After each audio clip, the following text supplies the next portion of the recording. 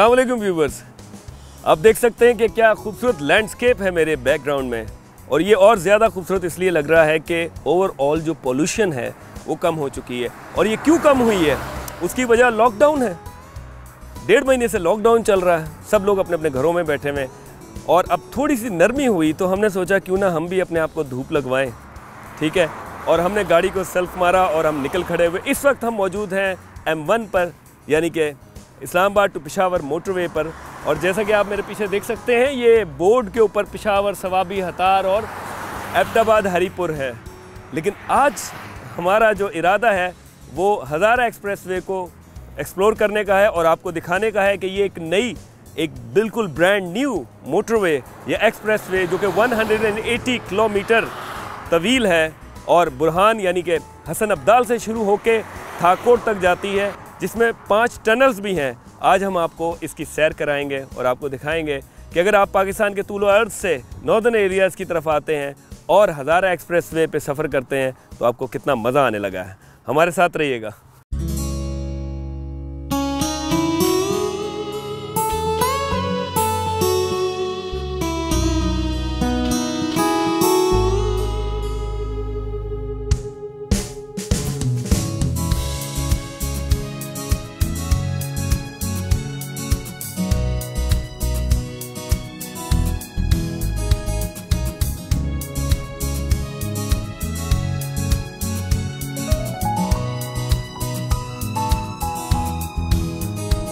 हम चले तो हमारे संग संग नजारे चले।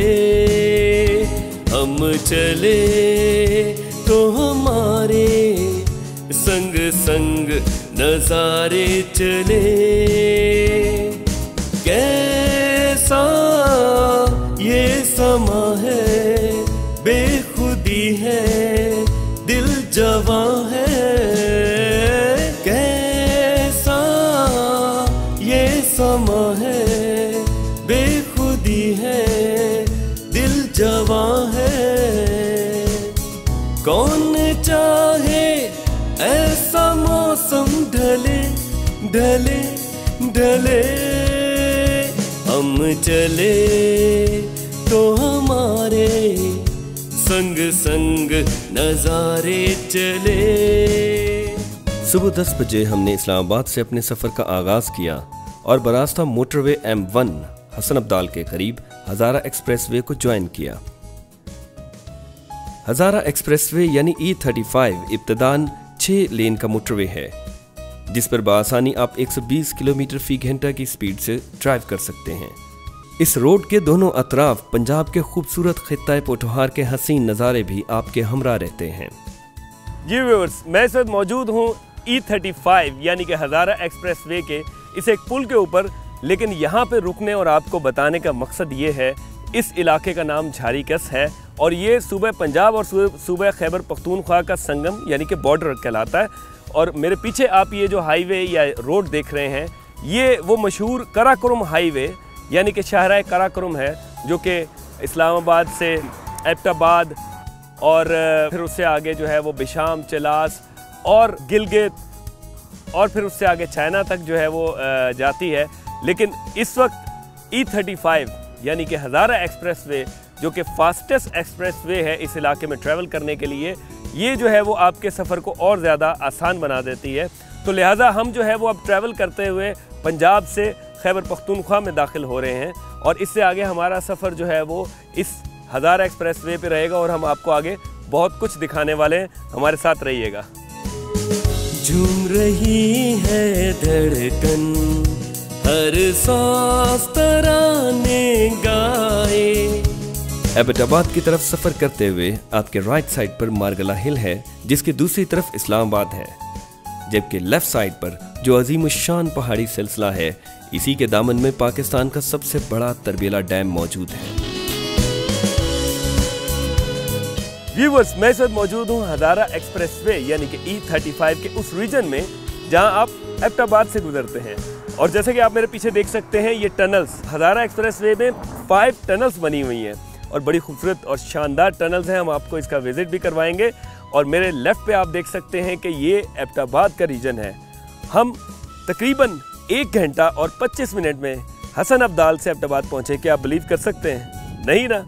जी हाँ ये मुमकिन हुआ इस फास्टेस्ट एक्सप्रेस वे के ज़रिए कि जिसके ऊपर जो है वो आप सिर्फ़ डेढ़ घंटे में या सवा घंटे में आप हसन अब्दाल यानी कि एम वन मोटरवे से एबटाबाद पहुँच जाते हैं और इस वक्त हम एबटाबाद को क्रॉस कर रहे हैं और इन टनल से हम गुजरेंगे और आपको मज़ीद जो है वो एक्सप्रेस वे का विज़िट करवाएँगे। हमारे साथ रहिएगा। माजी के बरक्स इस दफ़ा हज़ारा एक्सप्रेस वे पर सफ़र करते हुए हम तमाम छोटे बड़े शहरों जिनमें हसन अब्दाल, सुल्तानपुर, हरीपुर, सराय साले, हवेलियाँ और एबटाबाद को भी बाईपास कर जाते हैं। यूँ घंटों का सफ़र मिनटों में तय हो जाता है।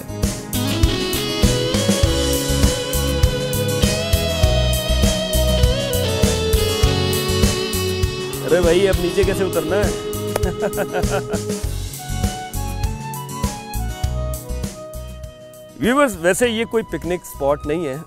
एक मज़े का जो है ना, वो रैम्प था, मैंने कहा ज़रा चढ़ के देखें, लेकिन ये आप देख रहे हैं कंक्रीट रैम्पिंग ये बड़ा यूनिक स्टाइल है, ये बड़ा यूनिक जो है, वो टेक्निक है बेसिकली लैंड स्लाइडिंग को रोकने के लिए। और आपको पता है कि पहाड़ी इलाके में जब रोड बनता है या कोई एक्सप्रेस वे बनता है तो उसका जो सबसे बड़ा डैमेज होता है, वो उसकी लैंड स्लाइडिंग की वजह से होता है। तो ये एन ने एक बड़ा जो है इस दफ़ा यूनिक पैटर्न अडेप्ट किया है लैंड स्लाइडिंग को रोकने के लिए।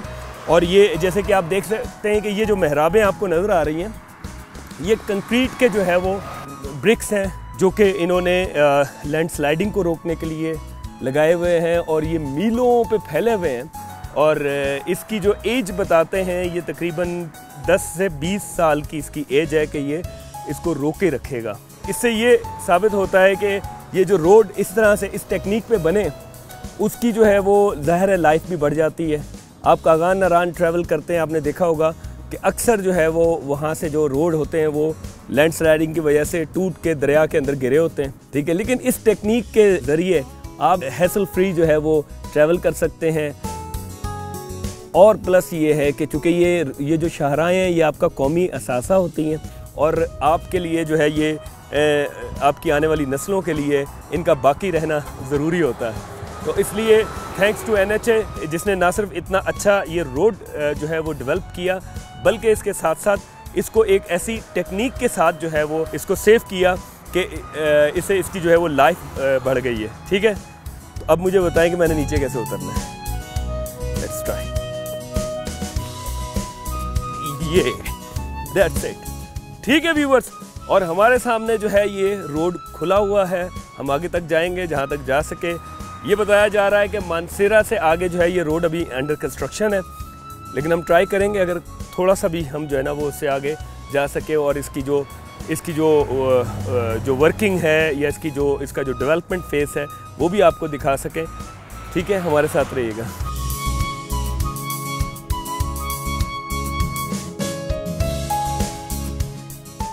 हज़ारा एक्सप्रेसवे पर जो सर्विस एरियाज़ हैं, वो भी एक यूनिक डिज़ाइन पर तैयार किए गए हैं। और देखने में किसी यूनिवर्सिटी के कैंपस का समंजर पेश करते हैं।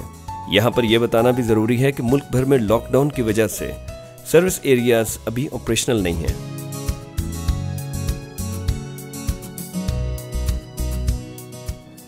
व्यूवर्स, हम पहुँच चुके हैं इस वक्त मानसेरा इंटरचेंज। जी हाँ E thirty five Hazara expressway पर सफ़र करते हुए मानसेरा इंटरचेंज हम पहुँच चुके हैं। हमने कोशिश की कि हम इससे आगे सफ़र करें लेकिन वो चूँकि अंडर डेवलप है सारा एरिया सारा जो रोड है वो इस वक्त अंडर कंस्ट्रक्शन है और लॉकडाउन की वजह से अभी जो है वो काम भी रुका हुआ है वहाँ पे। तो इसलिए जो है वो आ, हमें जो है वो आगे नहीं जाने दिया गया। तो हम यहाँ से एग्ज़िट लेंगे और फिर कुछ खाएँ पियेंगे उसके बाद फिर दोबारा से हम वापसी का सफ़र इख्तियार करेंगे। हमारे साथ रहिएगा। झूम रही है धड़कन। हर सांस तराने गाए। किसने इन राहों में ये प्यार के फूल खिलाए? जी व्यूअर्स तो लकली हमने हज़ारा एक्सप्रेस वे पे मानसेरा क्रॉस कर लिया है। ऑल दो के मानसेरा इंटरचेंज से आगे जो है वो अभी फ़िलहाल चूँकि अंडर डेवलप है ये रोड तो इसलिए वो अलाउ नहीं करते। लेकिन थैंक्स टू एन जिन्होंने हमें जो है वो अलाउ किया, क्योंकि हमने उनको बताया कि हम बेसिकली इसी प्रोजेक्ट की प्रमोशन के लिए ये वीलॉग बना रहे हैं तो उन्होंने हमें अलाउ कर दिया। और आप देख सकते हैं कि कितना बेहतरीन इन्वायरमेंट है जहाँ जहाँ पे हम खड़े हुए हैं। मेरी बैक पे स्नो टाउट माउंटेंस हैं और ये वही माउंटेंस हैं। जो कि आप कागान वैली में, ये नारान वैली में जाके देखते हैं। जी हाँ सिरी पाए और किवाई, शुगरान वगैरह जो एरियाज़ हैं, वहाँ से आप देखते हैं इन माउंटेंस को। और इस पैथ पे, इस रोड के ऊपर जो आगे मनसेरा के बाद आगे जो अहम शहर आते हैं, उनमें शिंक्यारी है, बटल है, बटाग्राम है और फिर एंड होता है थाकोट पे। तो ये सारा एरिया अनएक्सप्लोर्ड है। और अब इस रोड के बनने की वजह से जब लोग यहाँ पे ट्रैवल करेंगे तो यकीनन यहाँ पे जो है ना ये सारे एरियाज़ जो है वो डेवलप होंगे होटलिंग के हवाले से टूरिज़म के हवाले से, और लोग यहाँ पे हैंग आउट करने आएँगे पिकनिक्स करने आएँगे। और यकीनन वो जो एक कागान नारान पर लोड है, वो थोड़ा सा कम हो के यहाँ पर भी आएगा।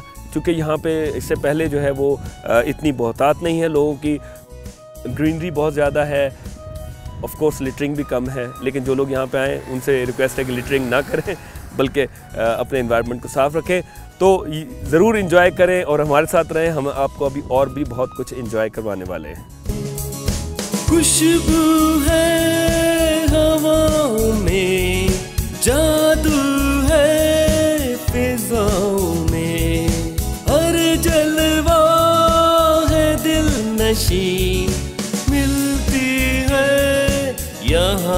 ज़मीन मुस्कुरा के आसमां से गले गले गले।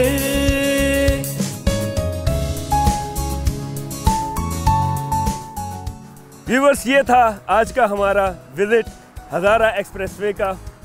जैसा कि हमने आज आपको दिखाया कि हसन अब्दाल से हमने M1 के बाद हज़ारा एक्सप्रेसवे पे स्विच किया और उसके बाद हरीपुर, हवेलियाँ, एप्टाबाद बाईपास करते हुए मानसेरा से एग्ज़िट लिया था।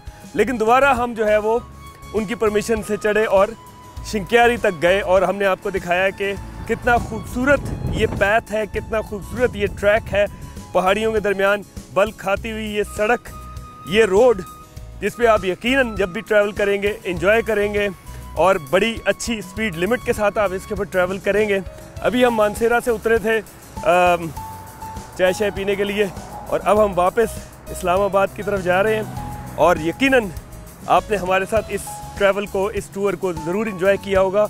इस तरह की मज़ीद वीडियोस देखने के लिए हमारे चैनल को सब्सक्राइब करें और बेल आइकन पे ज़रूर क्लिक करें। Thank you